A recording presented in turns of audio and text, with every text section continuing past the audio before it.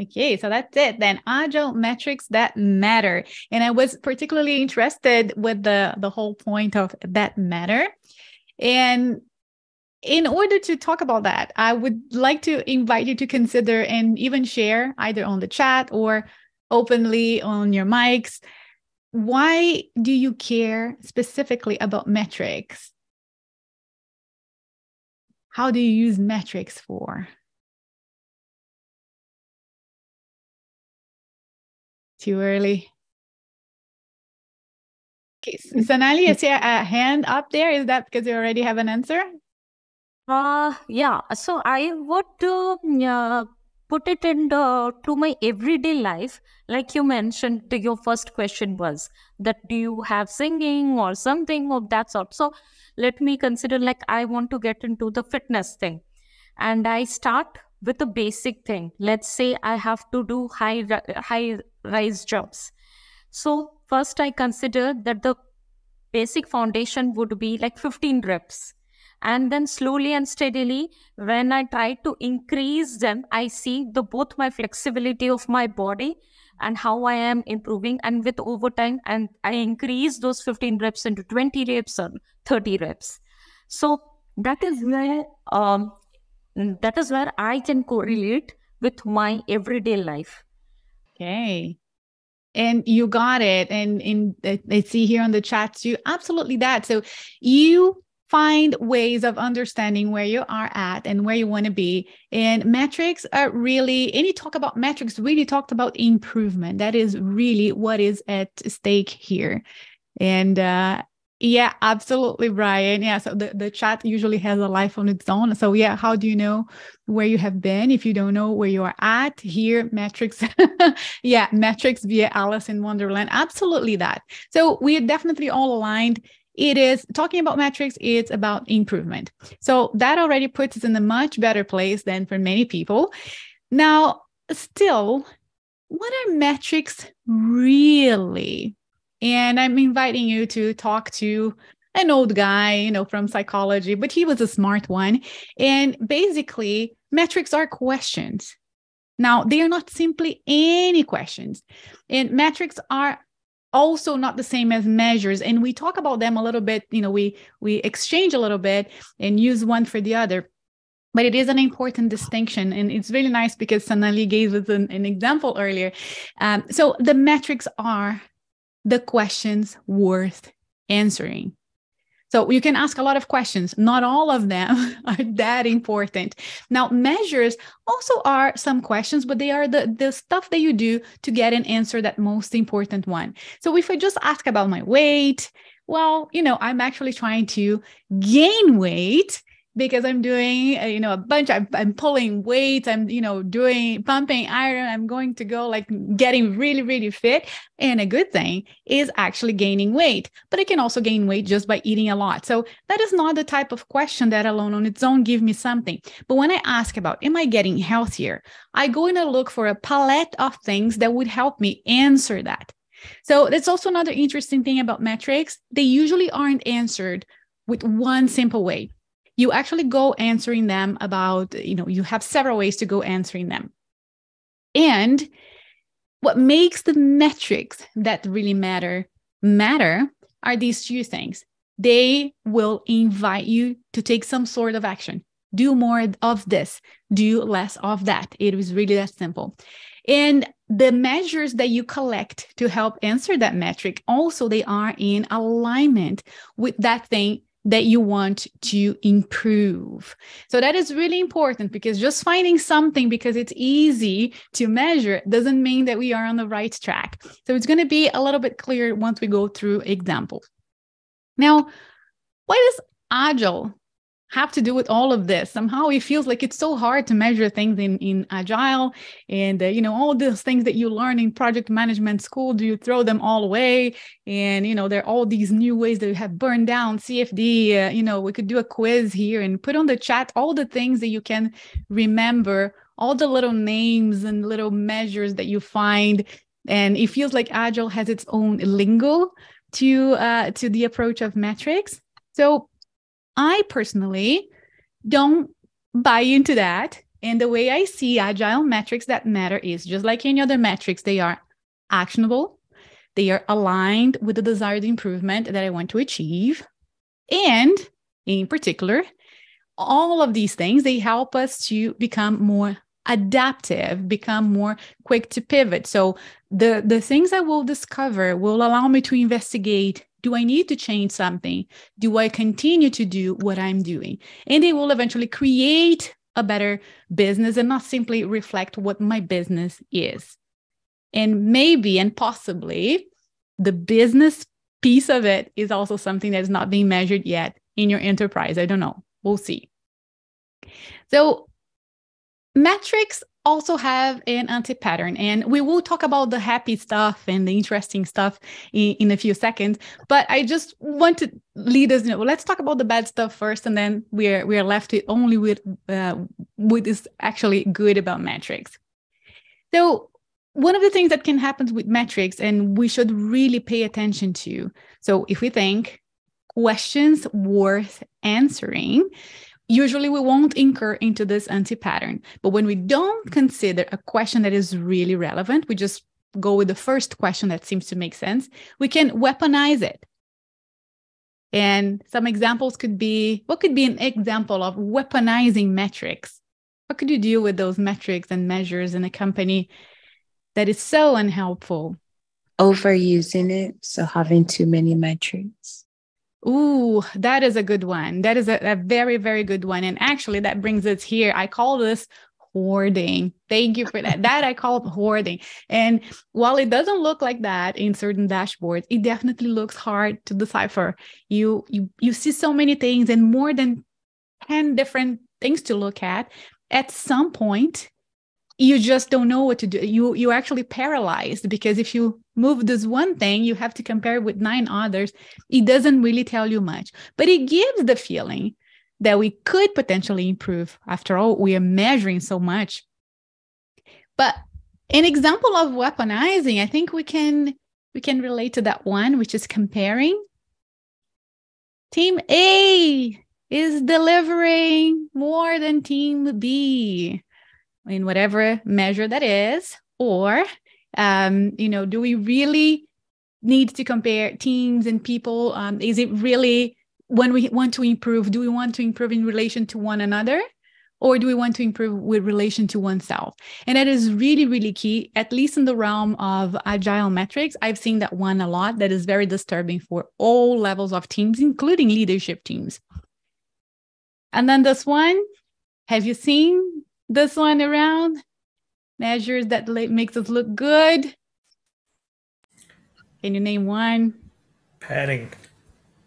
Ah absolutely. And and the thing is um even if you go completely i think everybody can understand that one like go on social media yeah instagram those things like a a lot of people i actually know someone who was uh, you know she's super happy and she's wondering what she's going to do with the 200 something thousand people that follow her on the fitness world. She doesn't monetize any of that. She has 200,000 fans. It looks really good. But no money comes in from that which is great if you just want to have a bunch of friends. But it's one example of wow the numbers suggest something that doesn't really reflect something else. So it's something to be very attentive because between weaponizing, making us look good, or just confusing the heck out of us, what can happen is always a response. And in the first two cases, just be aware if you compare people or if you just try to look good, what will people do? They will respond by gaming the system. All the other team delivers 60, story points and I'm delivering only 40. From now on, my most basic story will be eight points. And now I'm delivering 100. It is fixed.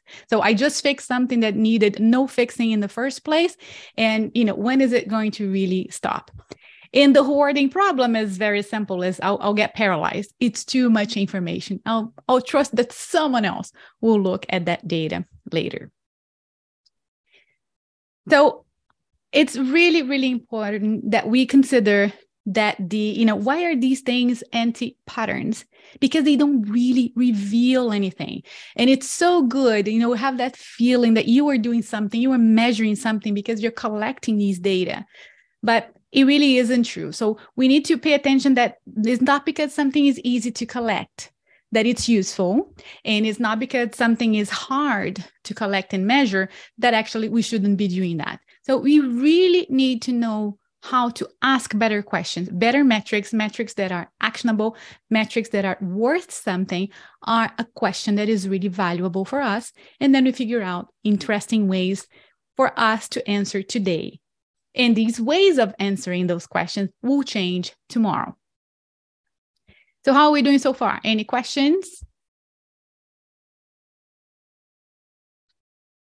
Silence means no. We'll keep moving. And then let's start with the good stuff. So, agile metrics that matter. Okay, the recipe is that there is no recipe. I don't think there is any recipe, but I do think that are ingredients. So what we're going to be talking about now it's a bunch of ingredients and if you are feeling, you know, into it maybe later we're going to cook with some of these ingredients and see what comes up in our conversation. So the first piece that I want to bring into the, the conversation is to think of your metrics in terms of categories. So you don't need to take those that I'm offering. There's a lot of smart people in this realm that can offer you fantastic ones. But whenever you're going to choose measures to answer something for your question worth being answered, think about something like work and quality, you know that kind of stuff. Release the stories i i make how long it takes. Customer and business. Product people love those. Not sure if they share with you but those are important ones as well. And surprise surprise people and collaboration. So agile is about people and interactions. And i wonder how many of you know of metrics of your team or even your whole department, they really consider the aspect, the human aspect of the work. Do you have any sort of like a, I call them a, a happiness index? Do you do you check anything like that for your teams?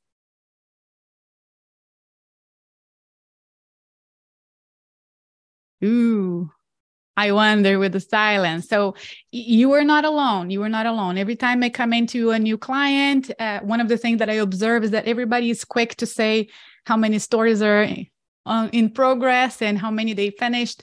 And sometimes they don't know how to answer things like that. And I always like to revert to the basics of Agile and our principles. So if I'm not delivering any sort of value, I'm not hitting any marks in here if I am not delivering frequently and with quality, I'm not hitting any marks in here. But I also need to remember people engaged, motivated individuals, sustainable pace.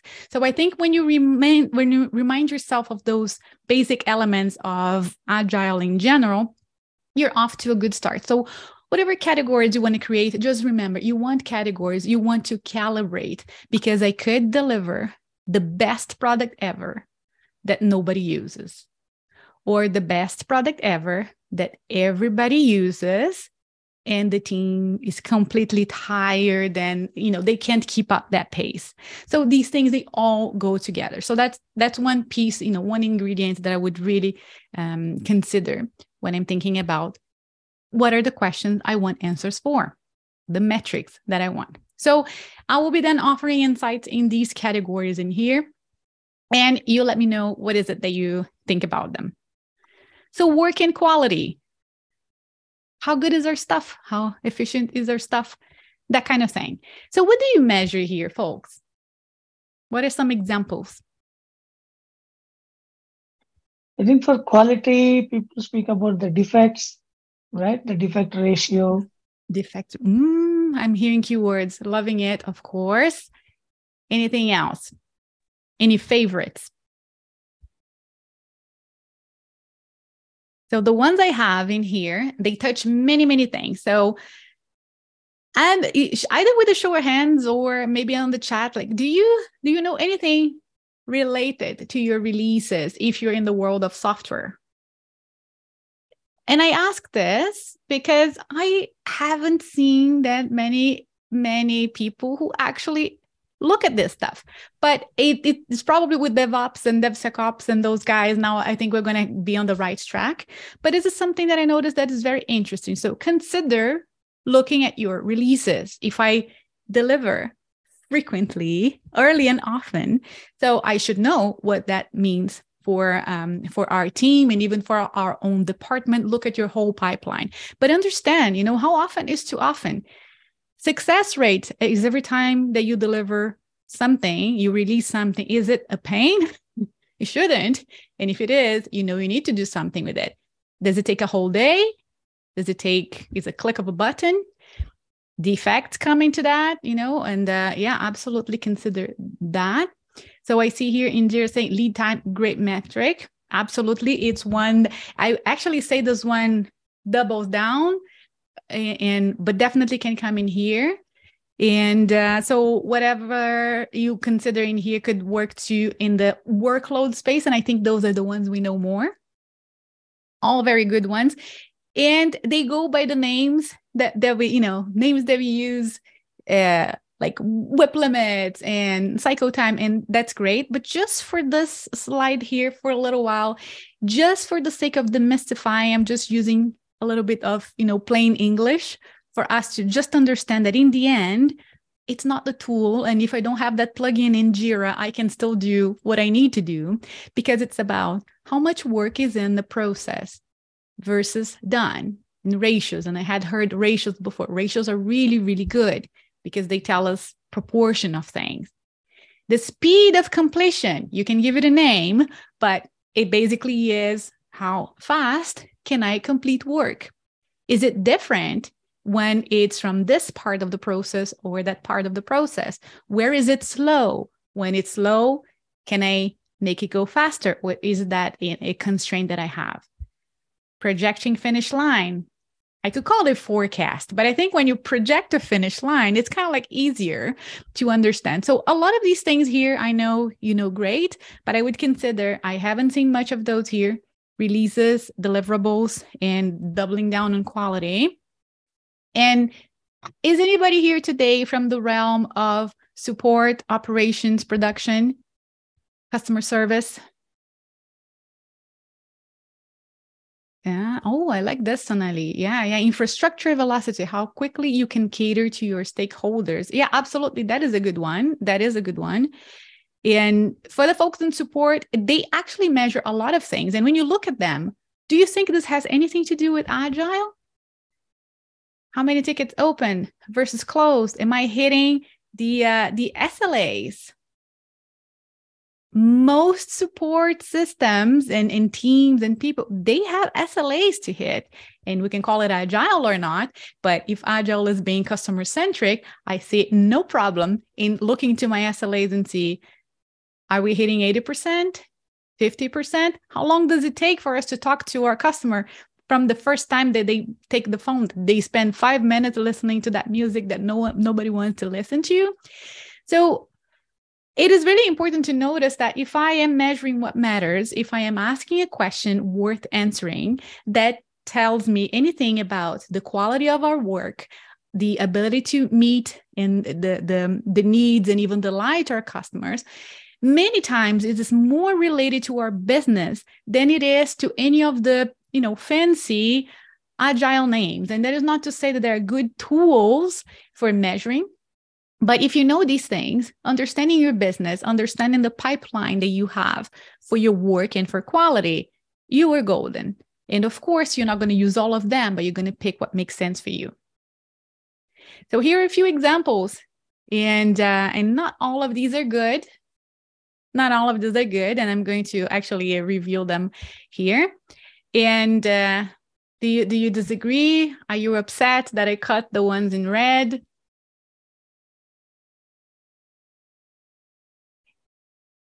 I guess that's a no. And the one that I cut in red, they are just misplaced. So velocity, the idea behind velocity and the speed of things, it's always great. The story point piece, not so much but it could be ideal days too. If it was ideal days in velocity, it would also not work because you don't care about measuring guesses. Estimations are guesses and they have a place to be used. And it's not here in the world of metrics. You don't take metrics out of your bet, you take metrics out of data, ideally something that is leading or something that already happened. So that's why I wouldn't consider anything with story points to live in the world of agile metrics because completing something is a little bit more binary than that. So if you have work to do, burn downs are great for that because is that thing done or not done? So they always have that kind of like staircase look, but that is okay. That is that, that's normal. It's just the nature of a burn down. But if I have three points done out of my five, I don't know if I'm close to the end or not. Like that's why the hours really don't matter much either count of things, how many things done, not done, in progress, waiting, that is more telling. Is that something that makes you uncomfortable or you feel good with that? You really, really sold in using story points and other things?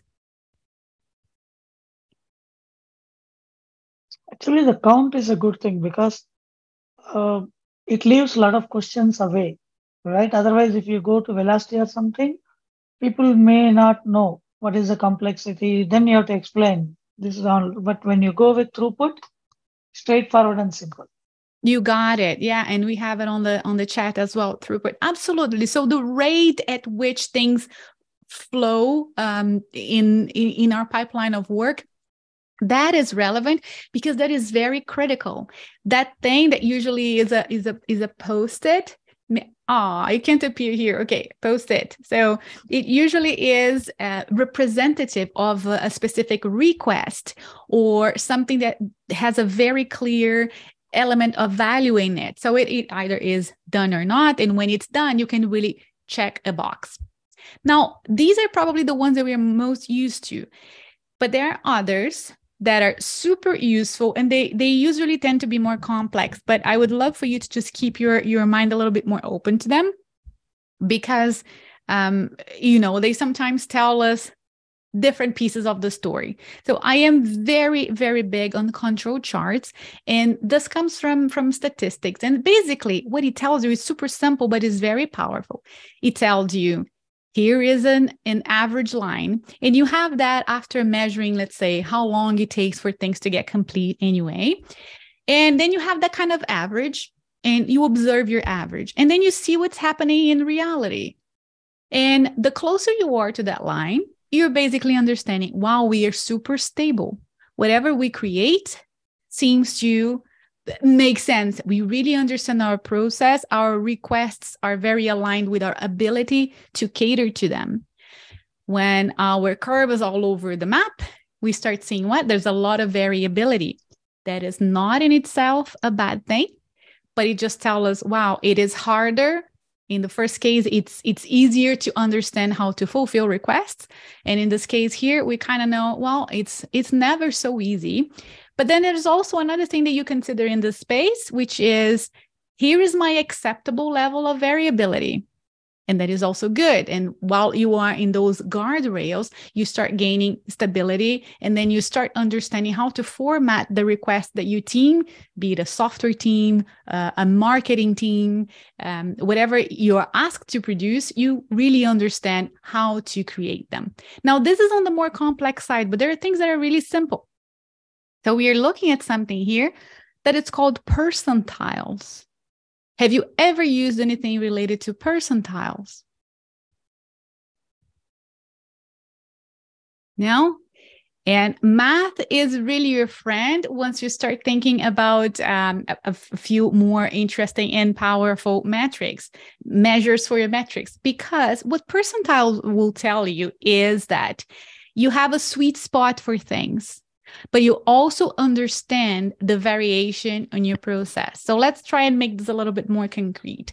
You know that in here, let's say it takes you an average of 14 to 16 days to get your I don't know, your your tickets, it could be a user story, it could be your support ticket. They take an average here 14 to 16 days. You know in the worst case scenario though, let's say in here that it could take up to, to 50 days. Now, you can then use that information to give answers to your stakeholders. And someone was saying, you know, I, I, use measures here to talk to stakeholders. Absolutely. If you have a stakeholder that can take a lot of risk, they say, I need this done. Uh, can you hit this date? We can, you know, we're we're okay if we miss the mark a little bit. You can talk about these days here. Okay, I think we can plan this for being done. It's done in two weeks 16 days, it's in the bag. When you're talking to the stakeholders that are more on the cautious side, you're going to tell you, well, this is a little bit of a risk, but we can do, but I can guarantee you that in 50 days, we are done. And then you let them decide. So there are some elements like this, you know, it's a, it's probably not something we are so used to at first, but it's worth taking a look, understanding the math a little bit behind. But hey, that is just one piece, the math that you use behind. But honestly, and always, the best really is starting with the question that you want an answer for, and that better be a good question. So, customer and business. Are you in touch with a lot of customer and business metrics in your organization?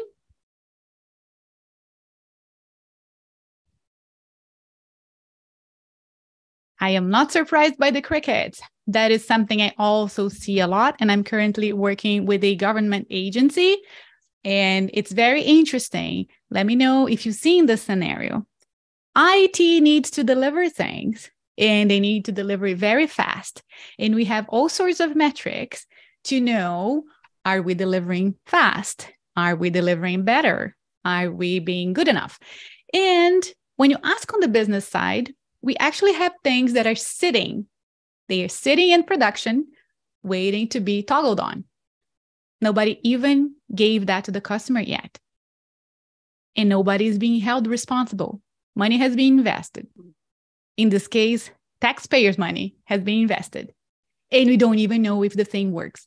But we know that the team, the last release, they were until 2 a.m. making sure that that release was a good one. So we are not looking to blame here, but you're going to see, right, Kelly? That happens a lot. Yeah, yeah. So you see that the point here isn't blaming, but we are very quick to develop the, the measures that will answer questions on the IT, production, and delivery side. And we are not getting our business people, product people, sales people to get used to coming to the table and answering the question with us or when they have those things, it's not shared with us. And that is also another problem. So that level of transparency really needs to exist. So it's actually interesting because on the customer side, it is kind of easier to measure. So it's always surprising that they are not being either measured or shared with development teams. And here are just a few examples. So customer and market, definitely something that we are used to hearing about.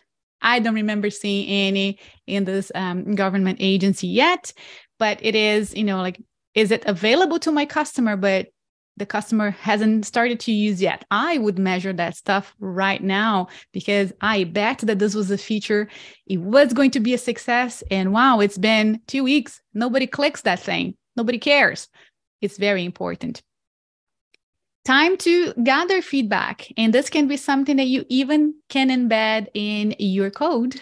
You are delivering code. Do you have, there are many, many legal ways, many compliant ways, GDPR compliant even, to make sure that you understand the behavior of your customer in your application.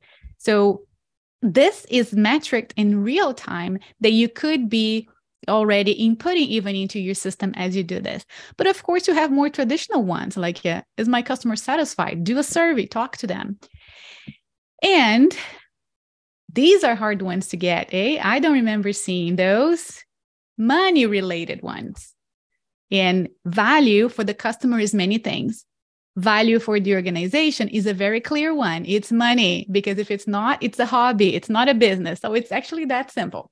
So getting exposed to those metrics uh, and, and what are the measures that accompany them. So here are some money, measure in and out because I just got a million dollars in revenue. Is this good or bad?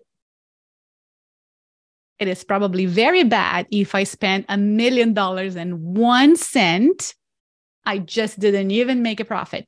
So you don't measure just what comes in and what seems to be the value generation.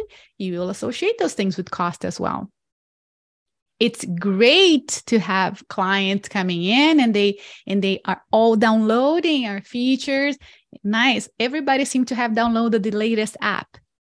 Are they using it though? So it's really looking into, especially in the realm of customer and business, making sure that we are not going to the vanity metric side of things. Customer lifetime is a very important one. So in my business, most of my students, 78% of my learners, come back to a second course or coaching with me. So instead of just, hey, come have a course with me, and then I forget about you and I run after someone else, I give you great customer service so that you want to stay in a relationship with me. How many companies can say that? That once you pay for the first game that you download, after that, you, you can't really have a relationship with them and talk about new features with them. So customer and business like is really serious stuff that i'm really really wondering you know what is your experience out there with them with those Yes, absolutely, Kelly. Analytics, those things can be embedded in the world of technology. Many of these actually can and should be part of the work that we do as we implement software. So that is actually good news. Really, really good news. And here are just some examples, just we've seen the visual. So good old uh, um, uh, uh, net promoter score. That is a very famous one now. Everybody wants to have that. And but if you have good old, you know, referral website, how many stars do you give me? That is already something that you can use. And then, you know, are we are we if you have some sort of a warehouse or by any chance you're fulfilling you have fulfilling systems you have equipment you have things that you deliver you know what is your rate of delivery? Ooh, here we were suffering but other than that wow we fulfill really good. So you basically have you know been in touch with any of some of these things and some others probably i'm pretty sure you don't see these but they could and when i say they could i'm no i'm not inventing because uh, booking.com is very famous for that. Everybody in the organization they they have thresholds they have a dashboard with the thresholds where they know how much money they can lose and how many customers they can disrupt with um, whenever they put something in production. So right now you have an idea, you have total freedom and control to put that feature live and observe the dashboard. And as soon as you see that you're getting close to the to the threshold and the, the alarms go on, you roll back your feature. You say, well, I'm allowed to to make a few mistakes here. And it looks like this feature was not a good one. We learned that. We won't be rolling out anything related to it. So we can be done. Now, how many places do that? So that's really something to consider, especially if you are here in, in show of hands. If you're um, uh, if you're one of those, you're project manager, agile coach, scrum master. If you're in some sort of layer of influence, product owner in your organization, you can definitely start advocating for those. So I really, really do recommend that you bring business to the to the table, to the discussion whenever we are talking about measuring what matters. And then we have people. Yeah, yeah, customer lifetime. Yeah, I know, I know. I'm I'm acknowledging you folks here on the chat, and it really is. Um, analytics can be, you know, can be can have a life on its own, but in the end, it all starts with are we asking the right question? So even for people in collaboration, and you can apply here some things like a more at the organizational level like the gallup is a great test and you have glassdoor and you even have nps score for employees now. But you can look for simple things like a happiness index uh, and i call it this way but it's really what if you just have like every week you ask your people there's like a three little i'm going to show you an example that i have with the team which is how are you feeling today? And today is mm, tomorrow like you know you, you can ask these things and you should be used to ask these things. And if agile is about collaboration are you asking about teamwork? Are you asking how people receive and what do they do with the feedback that they receive because this is the sort of thing that is part of uh, you know how we uh, how we really operate a little bit differently. And I think this is the category that could be a little bit more different than your traditional metrics because they don't speak of the work only or the value being delivered. They really talk about the people producing the work. And you can get really creative. Most of the things you find in here, though, will be qualitative and it's just as good. It's a great measure. And it's just don't don't get stuck into things that have very specific numbers. You can have a very good data that is qualitative that is for sure. Yeah for the stakeholders amazing kelly. Absolutely. Ask your stakeholders how happy are you with the latest release? How happy are you with the yeah with our um with our usual interactions? You absolutely can do that. And we are entering then the realm that is the most important thing to answer your metrics, all that you do is combining those measures. Usually, you won't have one that will answer everything for you. So, this is the example that I told you I have with them. Um, with one of the teams that I am uh, supporting right now.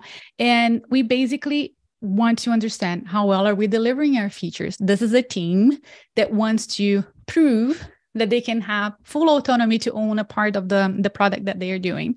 So the first thing that we thought about is on what we can control, how absolutely the awesomest are we?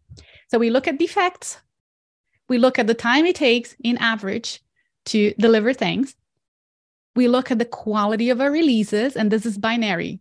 Release was good, release has an issue. Like any issue, if we had to call someone to join forces and make sure that the releases go through, this is a problem. This goes in the failure, as in not successful. And we do have our happiness index. And basically, we look at this thing, and I it, it's much bigger than this, but I extracted the the the last few months for us to see here. And when I look in here, I see that wow, I'm getting faster. Surprisingly, there are more defects. Is this just a correlation? We don't know if it's a causation, but it is correlated. However, how interesting, the releases got better. So we, we now know how to release better. But look at this. We are so unhappy. The past two releases were awesome, but we got better. Does something here happened that affected us? The fact that on top of that, we're working to deliver faster, faster, faster, and created more defect. Okay, big theme for a retrospective here. So that is really the best way to use, in my opinion, your measures. You have to have that important question. And ideally, go a few retrospectives with the same question. Really beat that horse to death. I hate that expression, but it's it, you know it's used here. But take that question and really massage it and look at it in several different angles, time and time again, because you you need to see those things put into perspective. You know it's not one piece only. It looks great right? It was bad bad releases now good releases. Ooh we are getting faster but it's really not that simple. So we want to have a holistic view here. I'm not sure wesley the hands up is so that you can come in and, and speak. Yes i have a question regarding your um your metric. Um how uh, how often is the release? Is it every three months or uh, uh, are they inconsistent from one release to another release? Um, and then do you use all these metrics in every retrospective meeting? Because um, I tend to use all the metrics every single month because we use two uh, two week sprints, and then I uh, I tend to show them everything what have happened why it happened, and then what we can do to improve it, and stuff so, like uh, from okay. sprint to sprint. So I know you you're doing it from release to release. How often is that? Yeah, those are the, the releases in this team. It's not Google. We're not releasing every day. You know, that's that's not that beautiful uh, continuous deployment. Uh, it is continuous deployment, but it's not continuous delivery. So it doesn't get really towards the customer. Um, th- those are monthly releases. And uh, we can call releases when we have hot fixes. We can also like call them as needed, but usually have major releases. Th- those are the major releases here. And they are structured you know every month it's towards the end of the month the date is never fixed but we know it's the last week of every month Mm-hmm. And uh, yeah, and then uh, this is mostly automated.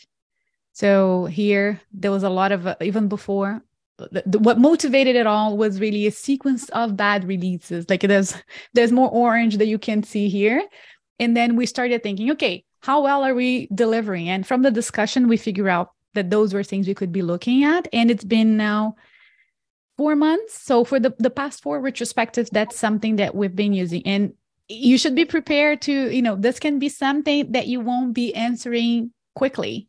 It's it's sometimes uh it's sometimes a little bit uh, anxiety uh, provoking because those things don't just get fixed like that. You really have to understand what's going on. You can only see, here if you like, you know, insights and see there's something going on.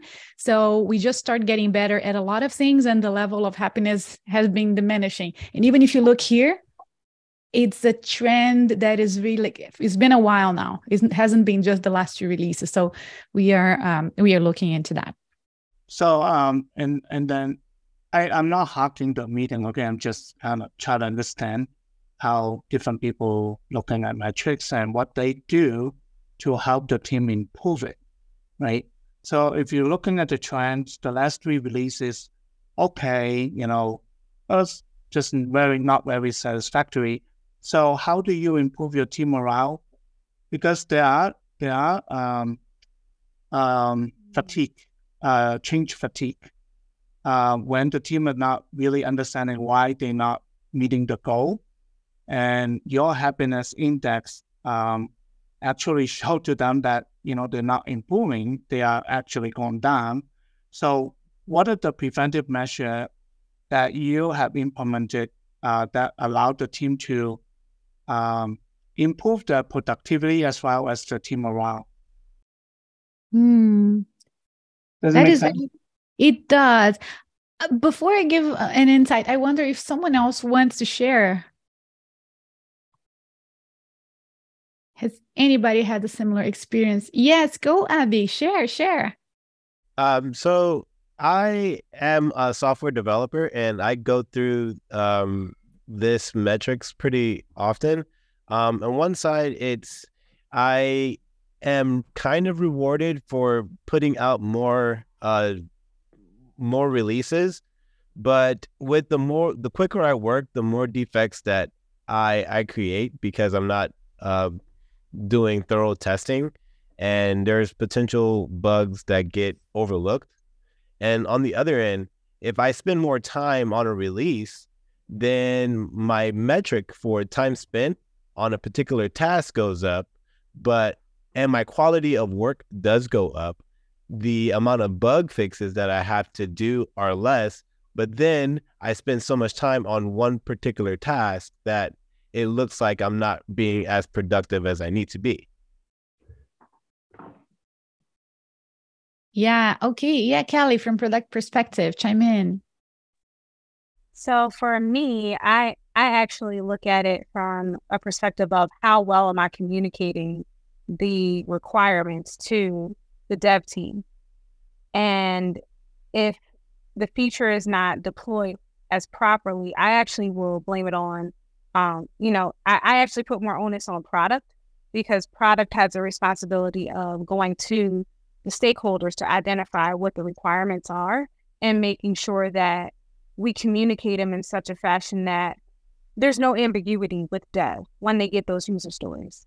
So I, I don't put as much weight on dev and um and and also before it even gets when it gets to QA. So it, I make sure that the QA um, team is actually well with testing, and that's where we can identify bugs before it actually goes to production to say, hey, that's that actually wasn't the ask. Because there are some cases where dev might make assumptions, but again, that kind of goes back to how well are we writing user stories and the features. Thanks for that. Yeah. Okay.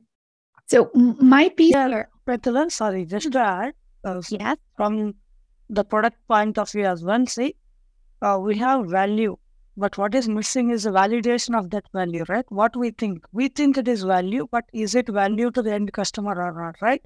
That closer feedback loop is very much required. So those kind of uh, those kind of things that they're following back in, it helps us to understand whatever assumptions that we made by making the product, how are they like that? Okay. So that can help.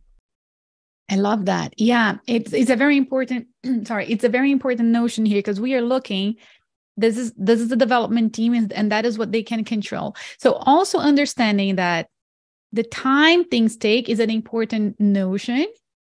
It isn't necessarily what drives, right? I, I use that information to know how fast I can give you things or not, but definitely these drive us.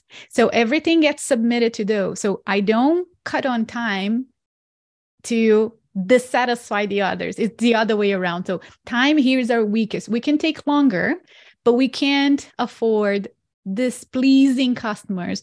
We can't afford having the team spending nights for delivery, and we definitely can't afford a team that will burn eventually. So you will notice in your metrics, whatever they are, in your measures in the metric, whatever they are, that there will be something that calls out more for you. This is very specifically for an agile team. And before I show a few more detailed ones here, I just want to say customer focus will also have other things that you would add. So how good that we responded to our customer needs. So here is just one example, and usually your business teams will be collecting things like that. Sometimes the, the, the team is the same when you work very well together, but sometimes you will be asking to see those. And sometimes it is really about like everybody together. What could that look like in the spirit of select a few, look at those, and you will eventually change what they are. What do I mean by that is this team here, this is how we are now answering the question how well are we delivering our features? As soon as we get these things under control, and it looks like release will be the easiest thing so far, we'll stop worrying about releases. The data will still be there. We just we won't be looking at that. And we might be looking at other things. We might be looking at our predictability. So over time, we'll be replacing some of these and instead of just a happiness index, we might actually be looking into, you know, once we discover now we have a retro coming Friday, what is really making us that unhappy? Now we might be measuring that thing here. What is that? It is because the process is cumbersome. It is the, the amount of meetings. And we might actually now start zeroing in and replacing this one with measuring that one. Remember, I want to take action in action aligned with the improvement that I want to make. So those are things that I would um, you know, I would call out in here for this this particular piece as well. So I know that we are short on time. Boy, I thought we were going to have more time, but uh, I'm I'm all here for questions and everything that we want to share. I will leave the slide in here just to share, you know, a few. These are just a few measures that you can use for things like team effectiveness. But remembering that you can get as creative as you want. The one thing you always need to think about is what is the question we really should spend time answering now and not start from CFD, uh, lead time. These things can be used, but is it really what you're looking for right now? No, zero in in the question. And then you go and you collect whatever you think that could help you answer that right now. So I think we have like five minutes and then there'll be some wrapping up. So, how do we want to spend that time? More questions, more interaction?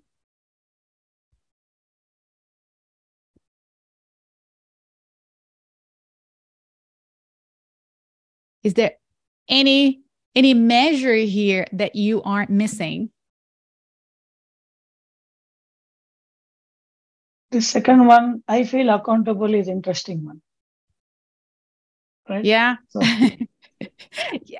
You know, I think I think you can get really creative with the uh with what you need to measure if you're really invested and if your team has buy-in for really improving whatever you want to improve um i want to you know this is a life coach and people make jokes about life coach all the time but i just wanted to use because i found it so amazing is that the difference between the, those great teams and the teams who are suffering a lot. Well some are just asking better questions. So let's start getting those more interesting questions being asked instead of just focusing on here is the number of the moment that everybody else is using. And as you go for it, measures just you know i'll leave it here so it's going to appear in the recording and you can then pause and be digest but it is the the easy math of it all you're looking for trends you're looking for ratios you're looking for percentiles absolutes are usually just a photograph and you want to see behavior over time. That is going to be key for you as far as improvement and as far as noticing really important things.